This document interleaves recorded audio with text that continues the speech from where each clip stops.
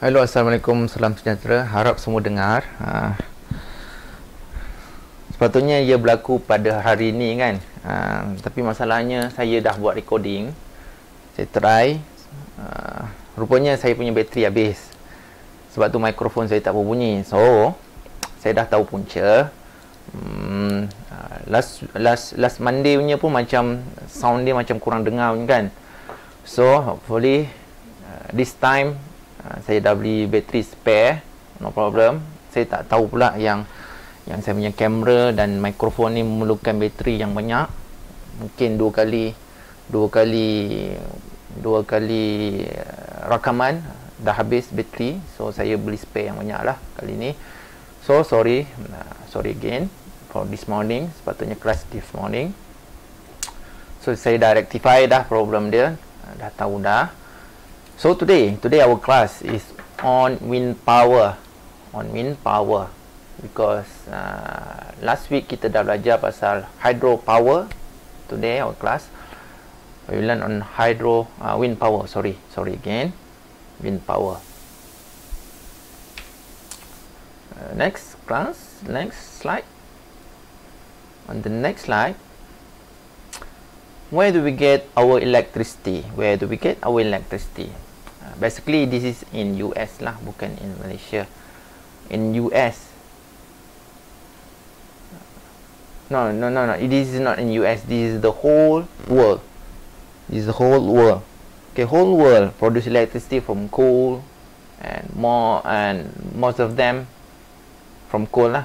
And secondly from nuclear power plant and, and comes to third from natural gases kemudian barulah hidroelektrik yang kita bela kita belajar minggu minggu lepas. Uh, kemudian baru petroleum and the rest ada kat sini. Uh, ini termasuk uh, elektrik yang produce menggunakan wind uh, tidal and everything lah.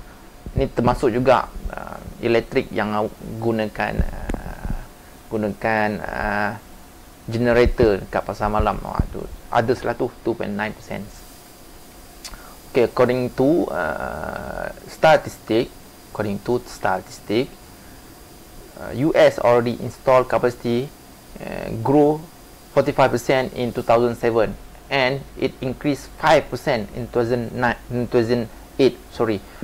So kalau awak lihat dekat bar graph ni nuclear power plant uh, from 1993 to 2003 uh, hanya 0.6% saja uh, uh, company nak produce energy menggunakan nuklear berbanding dengan natural gases. Banyaklah natural gases, natural gases ni gunakan uh, gas power gas turbine. Uh, gas turbine power plant lah. Berbanding dengan wind dan PV. Tengok sini from 1993 to 2003 lebih kurang 10 uh, tahun around 29.7% 29.7% of uh, annual increase or installment around the world around around the world itself. Kemudian diikuti dengan PV ataupun photovoltaic. Okey ni sekatan untuk uh, photovoltaic PV 21.6% kalau photovoltaic ni kita pun nampaklah dekat Malaysia kan sebab di Malaysia mostly panas so kita boleh harvest panas tu menggunakan uh, dari matahari dengan menggunakan photovoltaic untuk menghasilkan electricity okey. Sekarang ni kita nak tengok pasal wind power ataupun wind energy dekat US alone dekat sini. Pada tahun 1999 1999 oh, kalau lihat kat sini lagi uh, greener dia uh, bermakna dia lagi banyak megawatt uh, plant of hydro uh, sorry uh, wind power plant yang yang ter, yang ada kat situ lah. Kalau kita lihat kat sini California lah pada tahun 1999 dia menghasilkan lebih kurang uh, 700 megawatt pada tahun 99 okey? Kat sini saja. Yang banyak lah. Total pada tahun itu as of uh, bulan Disember 2472 megawatt compare to uh, US 10 years later which is 2009 wind power menghasilkan electricity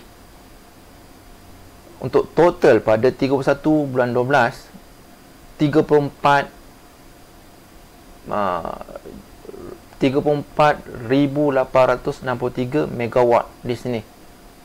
Boleh awak boleh lihatlah kat sini. California, Oregon semua dah menghasilkan electricity menggunakan uh, menggunakan wind power. Kalau kita lihat juga dengan uh, US annual cumulative uh, wind power capacity growth memang dia meningkat trending lah. Uh, kenapa? Persoalan dia kenapa? why such growth because of the cost itself pada 1979 pada tahun 1979 around 40 uh, cent per kilowatt hour. Uh, you can imagine that uh, one company building uh, uh, uh, wind power in one site. So the investment of all of them study lebih kurang 3 4 tahun dengan wind direction dia. Kemudian uh, you nak dirikan dia upah pekerja nak dirikan wind power tu wind turbine tu pada satu-satu tempat uh, hasil daripada duit-duit tu semua nak nak menjual balik company perlu menjual around 40 cent per kilowatt hour. Okay around 2000 year 2000 all that cost reduce from 4 to 6 cent per kilowatt hour. Dari study dari uh, nak upah pasang nak beli wind turbine tu sendiri. Kemudian pemasangan wire lagi.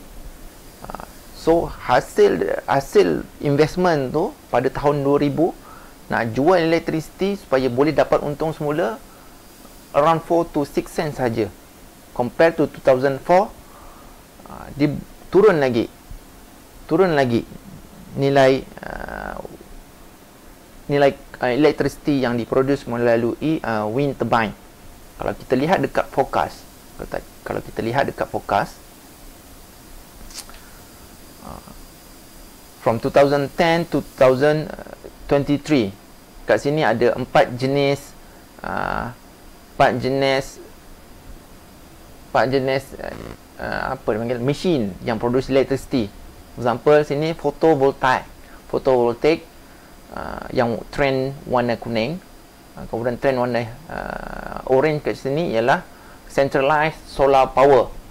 Sorry centralized solar panel. CSP centralized solar panel. Trend warna orange. Harga dia uh, macam ni lah. You boleh lihat lah sendiri kan. Tapi untuk photovoltaic dia, dia makin menurun. Sebab apa? Sama juga dengan onshore wind. Uh, turbine wind turbine boleh dipasang dekat uh, laut ataupun uh, di daratan lah kalau di daratan kalau lihat kat sini onshore wind dia tak dia bermula pada tahun 2010 kat sini harga dia tak sampai 10 sen pun. Sekarang ni uh, less than 5 sen. Uh, so dia uh, dia harga-harga ni menyebabkan uh, conventional power produce from uh, coal from uh, gas turbine from steam turbine uh, dia menyebabkan company-company ini terancam lah dengan murahnya uh, jualan yang boleh digunakan ataupun yang boleh dihasilkan uh, daripada wind farm. Okay, sebab apa? Satu sebab kita lihat kat sini increase of turbine size. Dulunya turbine size ni kecil-kecil saja sekarang ni dah besar. Kemudian R&D advance pula dia study pasal blade tu macam mana nak take full advantage of the wind to rotate uh, the blade itself. Kemudian manufacturing improvement. Dulu di di manufacture uh, wind turbine ni gunakan kayu saja. Sekarang nak gunakan carbon fiber berbeza lah. Itu adalah antara sebab-sebabnya uh, kenapa uh, harga uh, electricity yang dihasilkan oleh wind turbine dan photovoltaic tu menurun sekian tahun. Uh, this is wind farm. Uh, we rarely see in Malaysia. We rarely see in Malaysia. but we can see one or two uh, wind turbine lah uh, kalau di Kuala Place tu ada dua tak silap saya satu besar satu kecil sedikit Aha.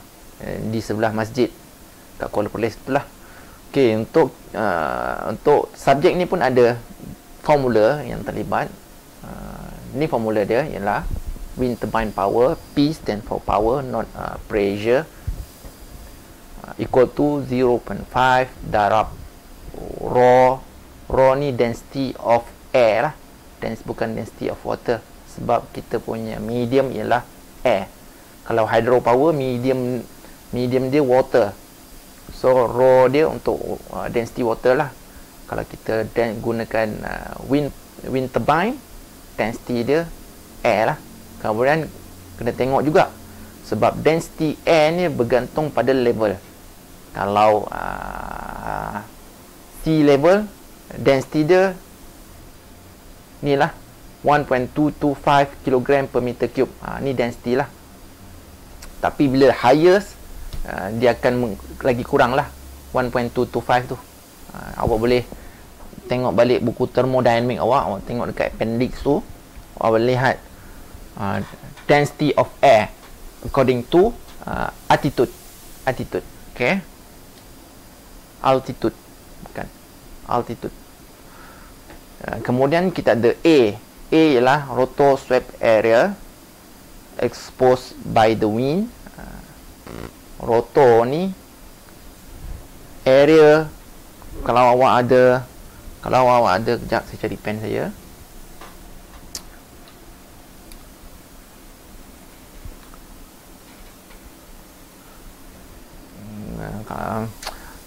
pen ni tak boleh tulis pula kat sini. Okey, kalau awak bayangkan uh, wind wind turbine tu, dia ada air, dia ada blade tiga batang di sini tiga batang, tiga batang, tiga batang.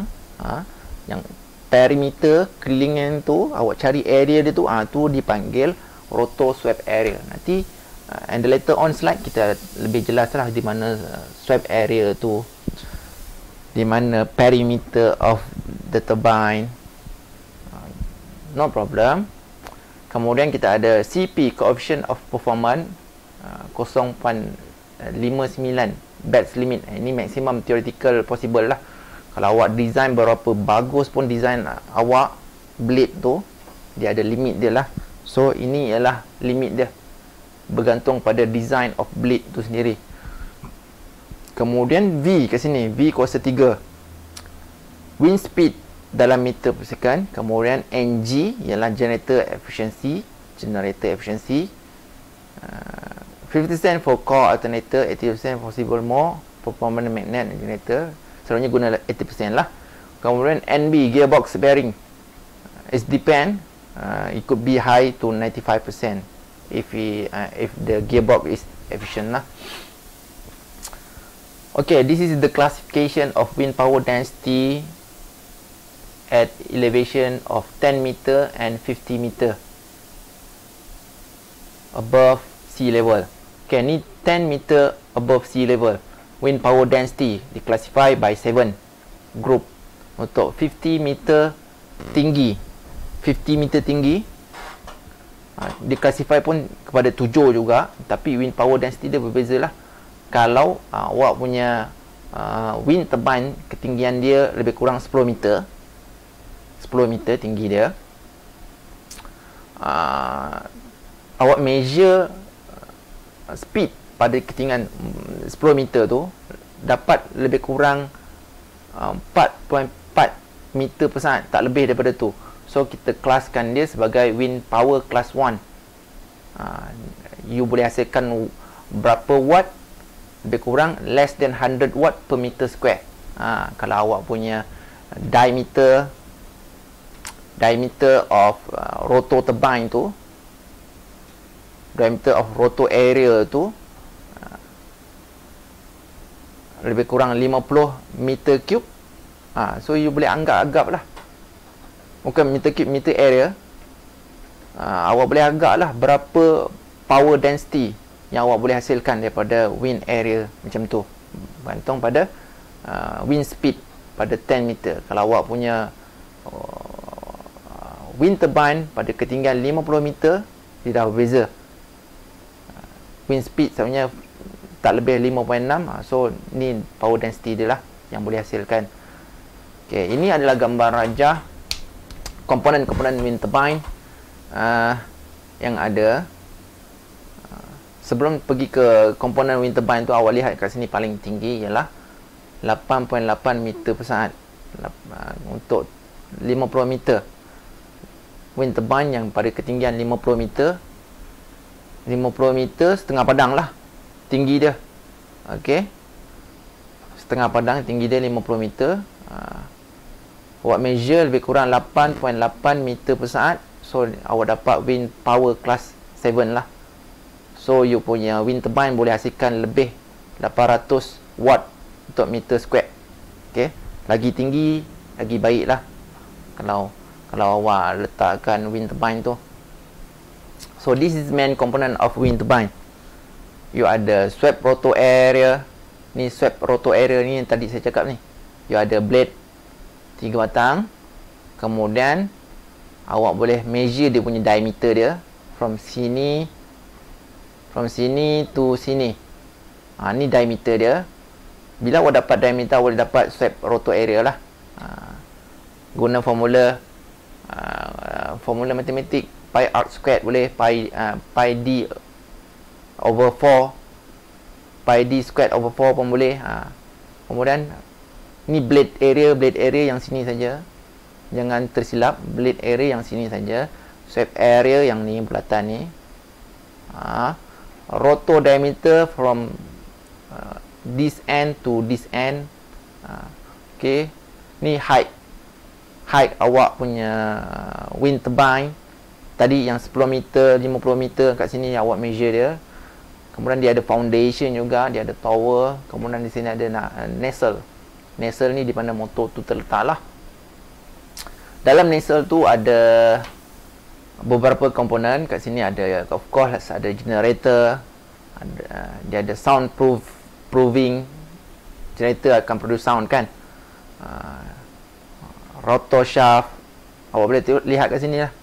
Dia ada gearbox ada oil cooler of course ada control panel.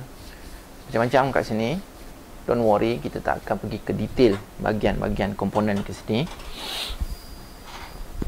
Tapi how they works actually how uh, wind turbine works. Wind turbine work is exactly the same as uh, uh, wing of aeroplane. Wing of aeroplane. Uh, this is wind turbine two blade. Okay dia ada wind flow through them.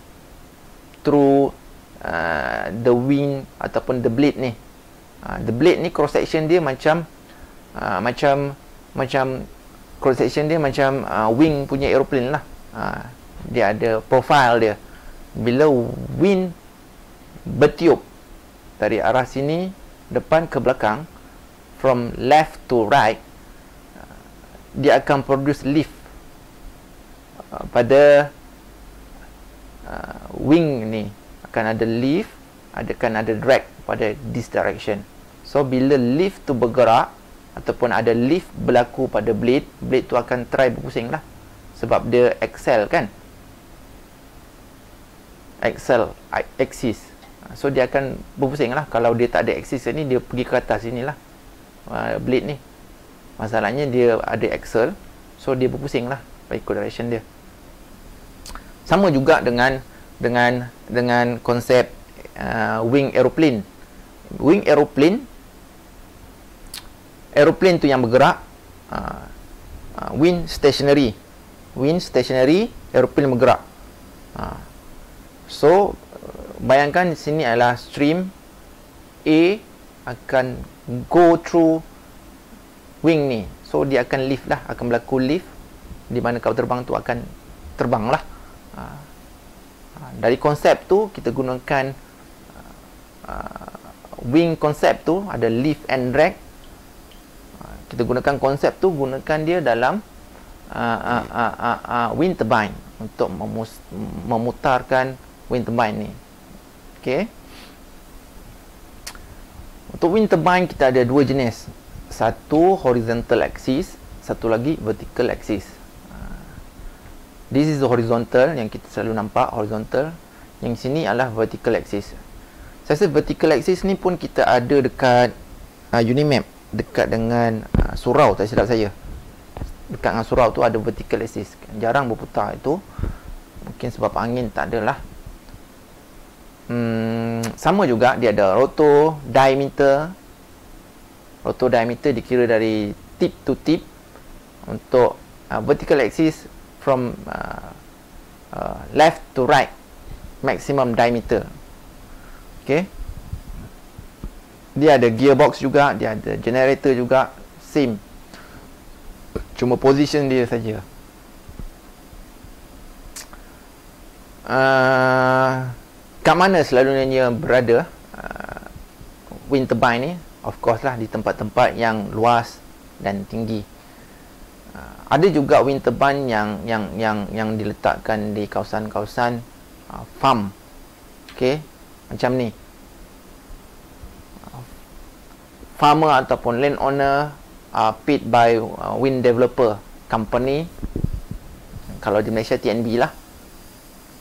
Uh, dia akan bayar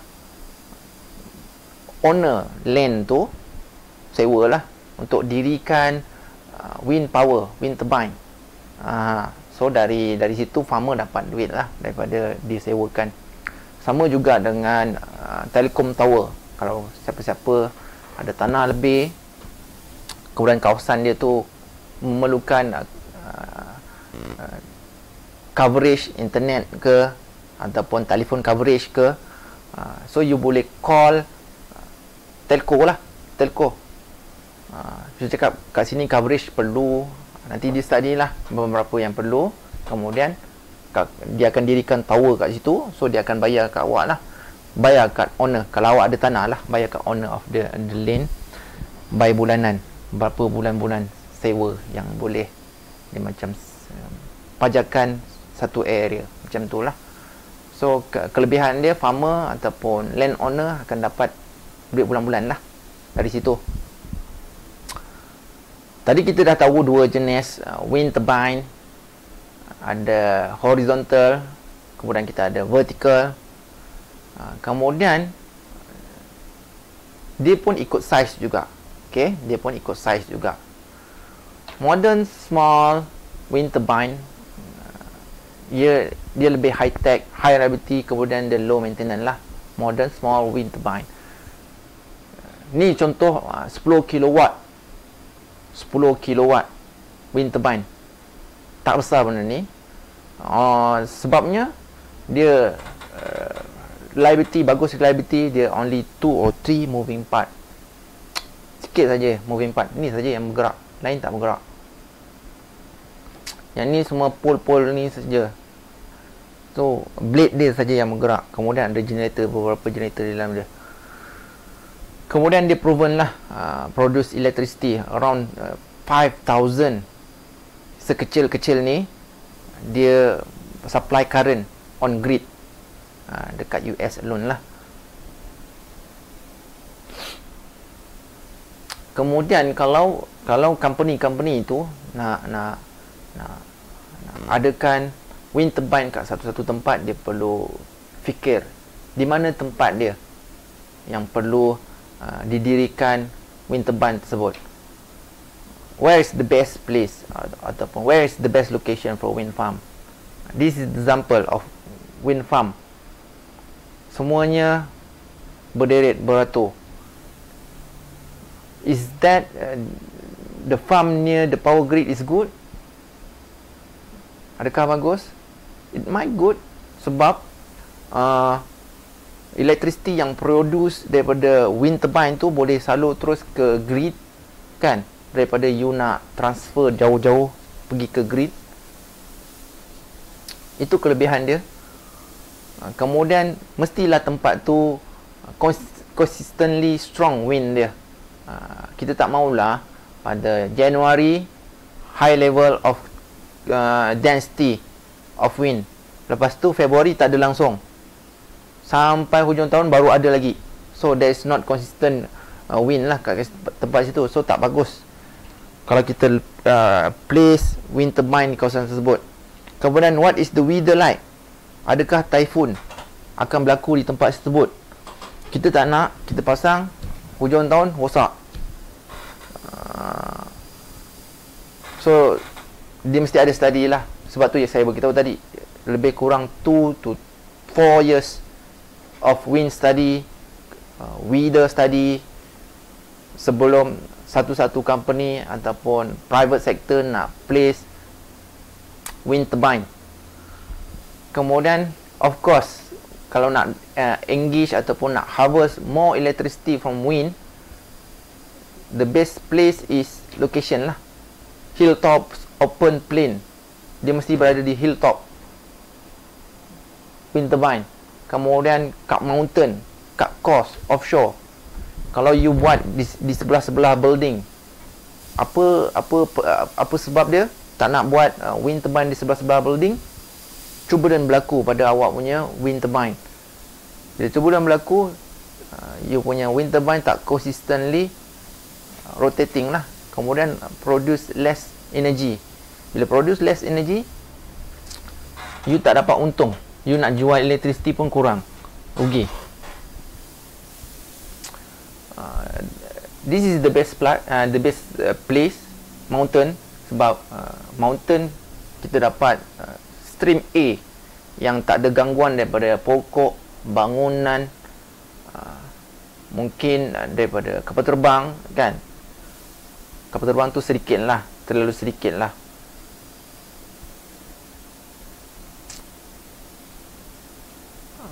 Yang terbaiknya ialah dari uh, offshore lah. Offshore uh, sebab apa saya beritahu offshore? Sebab uh, uh, Sebabnya kalau you pasang dekat uh, wind turbine dekat daratan, uh, you akan create uh, daratan dia akan create uh, naturally boundary layer akan uh, create naturally boundary layer. Boundary layer ni bila macam mana nak beritahu? Boundary layer ni awak dah belajar kat, kat fluid tapi saya rasa uh, awak lupa kot. Boundary layer ni ialah friction yang berlaku di antara wind antara streamline tu. Ha, bila bila uh, dekat wind pass through uh, land dekat bawah sekali tu dia akan ada friction. Akan berlaku friction di bawah sana. Sampai ke atas nanti dia akan satu dia akan terjadinya satu boundary layer di mana di bawah boundary layer tu ada turbulence lah berlaku Ha, kalau awak nak dapatkan consistent of uh, rotating wind turbine you kena ada lamina uh, streamline of air. Kita tak nak turbulent. Kita mesti ada lamina sebab tu kita letakkan dia di atas. Tahu kan between uh, lamina and turbulent? Saya rasa semua orang tahu ni no problem lah. Terbaiknya ialah di offshore lah. Uh, sebabnya uh, di lautan di sini uh, friction between air tu kurang lagi kurang. Uh, friction between air. So boundary layer yang terhasil tu sangat kecil. So uh, dia akan cover fully cover lah awak punya swap area ke sini. Contohnya wind datang daripada sini daripada sini kan? So boundary layer boundary layer akan terhasil macam tu. So di bawah sini turbulent. Di atas sini semuanya lamina sebab tu dekat offshore wind farm adalah terbaik, tempat yang terbaik. Kemudian developer akan pasang dia dalam inline di sini. Uh, there's reason kenapa dia pasang inline. Supaya uh, power yang dia supply tu uh, satu line lah. Dia tak adalah banyak sangat. Uh, dipanggil wire-wire kat bawah ni. So dia akan pasang satu line kat sini. Uh, this is wind ataupun boundary layer yang saya beritahu tadi. Friction surface friction. Kalau awak pas, awak bayangkan dekat land tadi dekat land ada satu uh, streamline of wind laju dia 20 mile per hour. 20 mile per hour. Awak bayangkan dia 20 mile per hour. Uh, even. Dari atas ke bawah dia even. Bila dia lalu kat surface uh, dia akan berlaku, berlaku friction between layer of wind. Ha, kat situlah dia akan berlaku ha, kat bawah sini nanti slow sikit speed dia. Atas sikit 10 uh, mile per hour. Atas lagi sikit 15 mile per hour. So bila dapat kat fully atas sana lamina lah. 20 mile per hour. Awak kena bayangkan dia macam tu. Dia memang berlaku pun.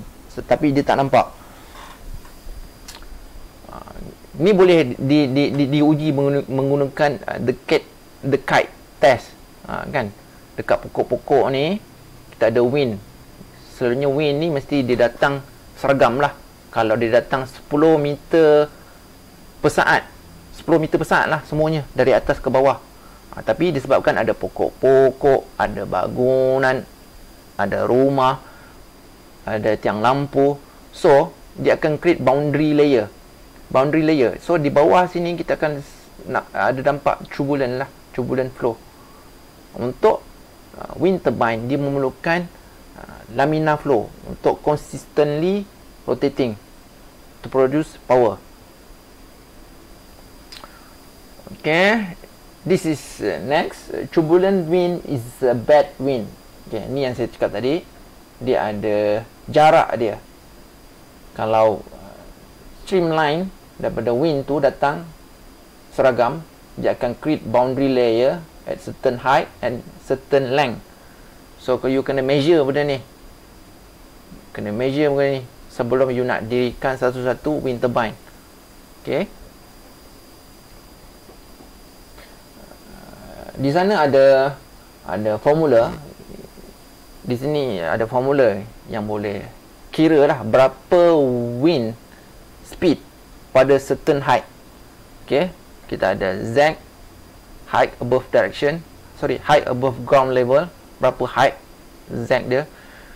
Z0 ialah roughness length ha, nanti next slide saya akan tahu apa tu roughness length kemudian Z reference ha, di mana uh, reference of wind tu yang kita nak uh, measure ha, itu sajalah kita ada empat saja Z velocity reference uh, elevation reference kemudian uh, velocity Z di mana tempat yang kita nak cari kemudian kita ada uh, roughness length berapa. Ni soft uh, ni ni ialah formula dia. Ni ada formula. Plug in the formula saja. Everything is calculated no problem. For example you nak measure velocity at the height of 12 meter above sea level. Macam mana? Ha, macam ni lah. Gunakan formula ni. BZ ni ialah awak nak cari dia pada 12 meter. Awak masukkan uh, ZR sini 12 meter. ZO awak tinggalkan. ZO awak tinggalkan. VR reference. Dengan ZR kat mana reference dia? Awak memerlukan reference nak cari uh, speed tersebut. Ok ni adalah contoh calculate the mean wind calculate mean average lah wind speed Vz at height Z from known measurement VR at reference height ZR. Uh, ni roughness class, yang ni roughness length. So number ni yang awak perlu masukkan kat ZO, roughness length. ZR dengan VR ni selalunya kalau dalam dalam dalam soalan dia akan bagilah. Uh, pada velocity 5 meter per saat dekat uh, reference 3 meter. Ha, Okey, ha, itu itu ialah VR dan ZR dia lah. Ha, kemudian ZO dia berpandukan dengan table ni. Dalam unit meter awak kena ambil meter ni, jangan ambil roughness class ni. So masukkan dalam formula you boleh dapat value ataupun speed pada tempat yang awak nak. Okey. Kemudian ini adalah average annual wind speed. Average annual wind bukan wind speed ni wind energy. From 25% from year to year. Awak bayangkan ni ialah tahun 81 dan ini ialah tahun 2000 average average wind energy Okey, kalau awak study 3 tahun, awak bayangkan awak kalau awak study 3 tahun di sini saja pada tahun 88 dan 90 untuk dirikan satu-satu wind turbines pada satu-satu tempat. Awak study 3 tahun saja. So awak measure dia boleh hasilkan 100 lebih lebih 100 energy. Lebih 100 uh, wind energy pada 3 tahun untuk. Tapi tiba-tiba pada tahun 95 96 dan 97 the low wind speed. Uh, so harga uh, electricity yang awak jual pada consumer tu dah berubah lah uh, itu satu. Tapi uh, at least awak ada study. Kalau awak nak dirikan tiga uh, nak dirikan uh, wind wind turbine pada satu tempat at least 3 hingga 4 tahun. Awak kena study. Kalau dia uh, low betul-betul low sepanjang tahun awak nak dirikan wind turbine di kawasan tersebut memang sangat rugilah. Uh, ini adalah satu, satu contoh. Di di mana ni eh? Saya rasa di Denmark. Ni adalah di Denmark. Ni Denmark di mana wind varies annually. Uh, you tak boleh average kan dia lah. You cakap uh, tahunan wind average pada Putrajaya adalah sama setiap tahun. Uh, salah lah.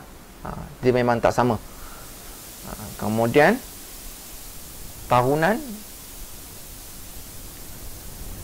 boleh di split by bulan juga. You lihat dekat sini pada Januari wind energy index dekat Denmark 149 kemudian Jun, Julai, Ogos this is the lowest place. You boleh dapatkan wind pada kawasan tersebut. Ha, tapi kalau lihat kat graf ni memang terbaik lah. Tempat ni memang di sepanjang tahun dia ada uh, wind lah. No problem. So study tu boleh juga sampai ke uh, hour. Sampai ke hour. Pada hmm, pagi-pagi pukul berapa? Mungkin uh, pukul 8 pagi, mungkin 8 pagi. Ada lebih kurang 3.5 meter per saat. Ha. Kemudian pada tengah hari ataupun petang 15 pukul 3 ha, dia berada di tinggi speed dia meningkat kalau awak baca kat sini wind varies daily not only because of weather but because of convecting heating wind typically strong in the mid late afternoon. Wind typically strong in the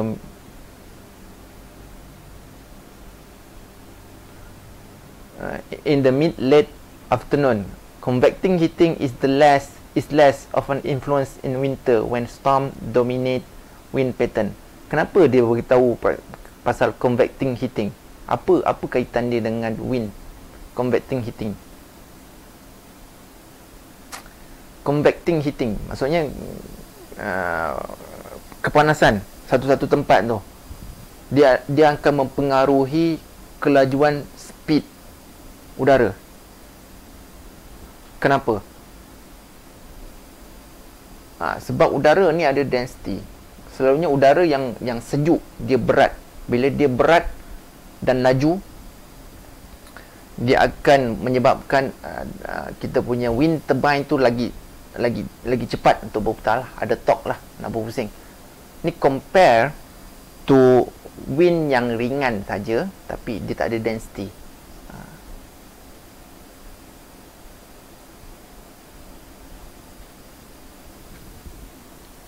Ini contoh uh, kawasan yang di study pada 80 meter, ketinggian 80 meter.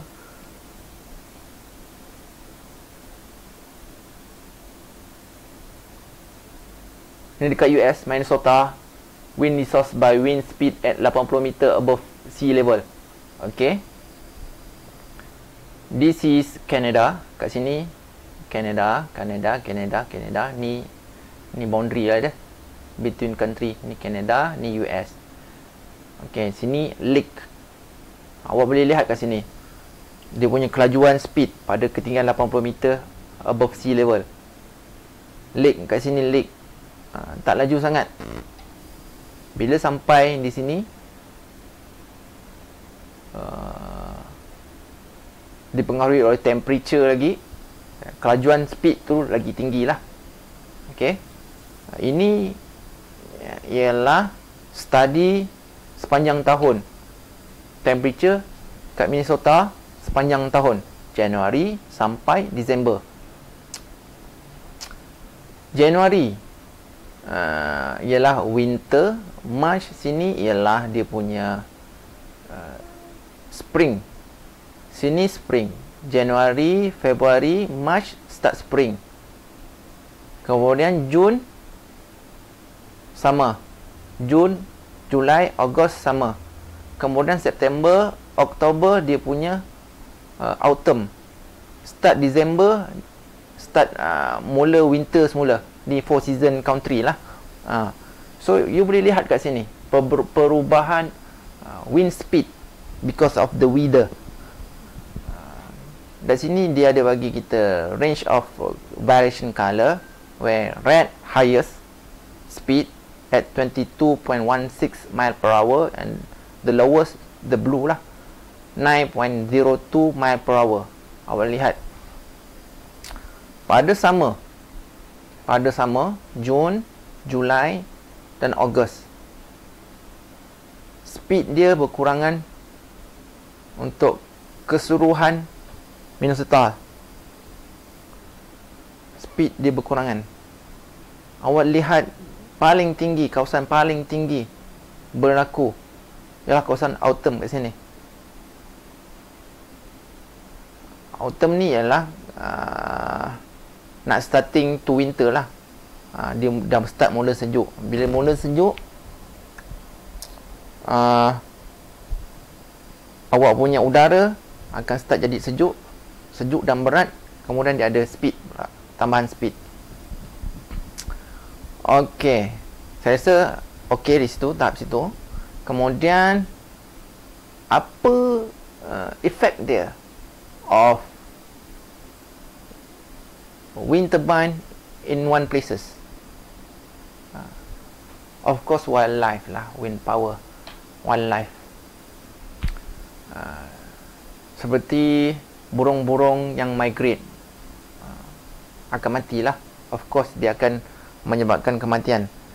But uh, dia uh, untuk satu-satu company nak buat wind nak dirikan wind turbine pada satu tempat dia kena ada uh, dia kena ada study assessment on environmental impact. Uh, starting 1980 lah. Kat sini 1990 sebelum tu tak ada lah sebab environmentalist dia nak jaga alam kan. So dia kena ada strict environmental impact assessment. Okay, sebab uh, wind turbine boleh uh, kill a lot of bird during migrating period. Mm, this is the reasoning. Kalau kita nak compare lah, kalau kita nak compare between bird uh, kematian kematian kematian uh, uh, uh, burung migrating tu estimate cuma 1 hingga 2 tahun saja mati disebabkan wind turbine okey. Tapi sebenarnya burung mati lagi banyak disebabkan global warming. Bukannya disebabkan wind turbine global warming lagi banyak lah ini dia orang punya study kalau dia lagi detailkan situ burung mati lagi banyak disebabkan glass window. Burung terbang ke rumah langgar glass window. Mati kat situ. So annual bird death by million. So around 500 million yearly. Uh, burung mati langgar glass window. As compared to wind turbine tak ada pun kat sini. Wind turbine tak ada pun. So tapi study ini perlu dilakukan oleh uh, company lah kalau dia nak dirikan uh, dia nak dirikan satu-satu kawasan tu sebagai wind farm ke. Ada ada study. There is study uh, to innovate the wind turbine itself which is like this uh, impact on bird of prey and migration migratory of birds uh, though the turbine do not kill many bird each year, the total death could eventually tip the species into decline. Yalah, kalau ada spesies-spesies yang terancam, kemudian dia dah lah tak banyak. Kemudian waktu dia migrating, wind turbine tu bunuh dia setiap dua ekor setahun. Dia akan terancam lagi, terancam lah. Of course lah.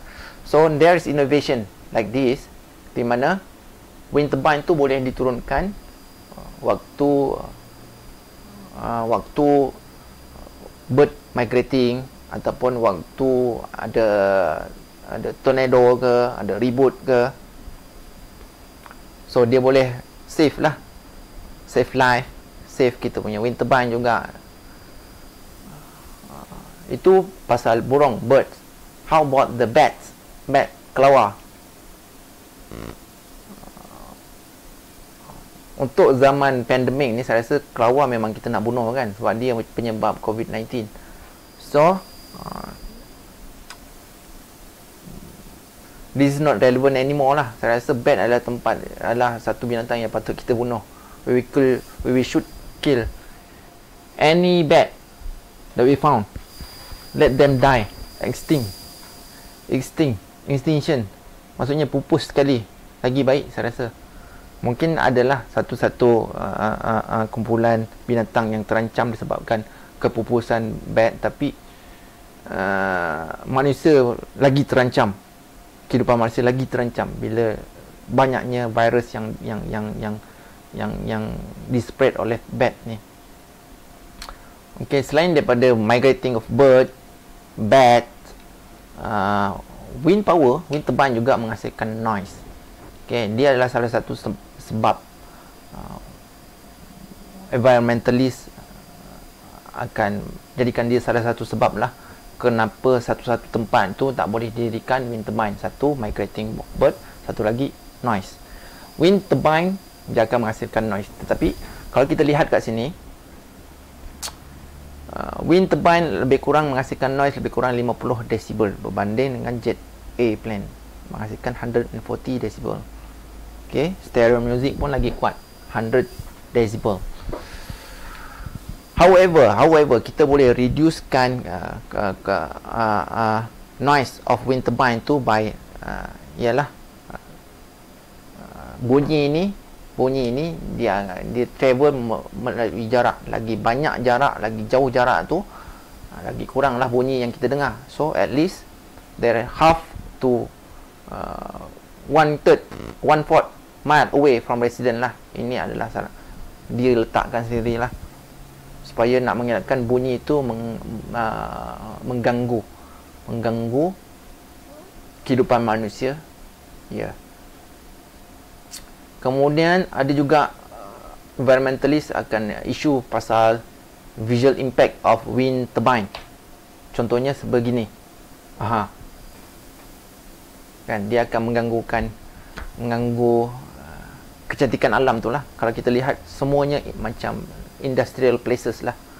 Wind turbine betul-betul kawasan yang yang sepatutnya cantik sebegitu dah, dah dah jadi farm macam ni dia akan mengganggu mata mata uh, pengguna uh, ataupun penduduk setempat kawasan tu. Uh, in the positive part around this kan kalau kita nak compare kewujudan wind turbine ni pada satu-satu tempat sebenarnya visual impact ni ada juga pada currently installed dekat uh, around our house kan dekat uh, dekat uh, dekat tempat-tempat company ataupun industrial places uh, seperti utility poles macam ni.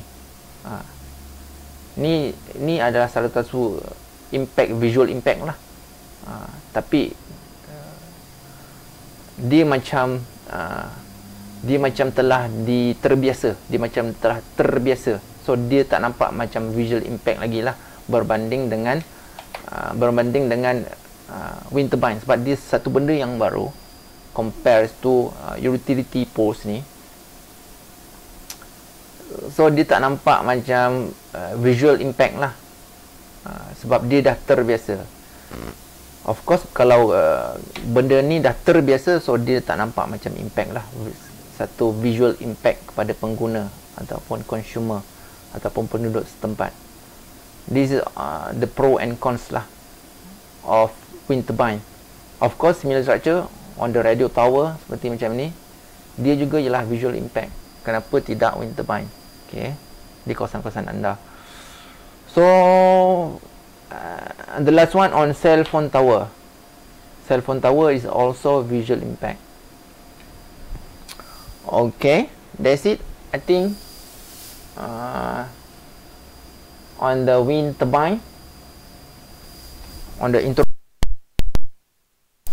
Next monday we will go through uh, a little bit on the calculation of wind turbine how to measure how to measure how to calculate power uh, produced from wind turbine from certain amount of wind and the blade uh, blade uh, diameter and the elevation itself how uh, elevation can contribute to power to produce the power electricity kita akan review tu pada minggu hadapan lah. Pada hari Isnin of course hari Isnin malam saya akan buat video kemudian upload. Uh, sorry again for this morning sorry again for this morning. Hopefully everyone is okay. Uh, the reason why I'm kita tak boleh buat synchronous sebabkan benda ni. Benda ni memerlukan bateri. Bateri dia kuat makan bateri. Every so saya akan estimate every two uh, two times lecture lah saya akan replace bateri dia so that you tak terganggu lah pendengaran. Tak tak tak tak dengar sangat ke. Okay? So that's it. That's it. Thank you. Thank you again for this value time of yours don't forget to write your attendant. Don't forget to write your attendant uh, in the given link. Uh, thank you. If you have a question you can write it on the google classroom. Uh, we don't have any quiz yet but I already I already give you a case study. You can work on the case study. A lot of mark. uh, contribute to the case study you should uh, working on the case study. Uh, when we have a quiz I, I will alert you around one week before the quiz okay? Thank you. Thank you again. Assalamualaikum and salam sejahtera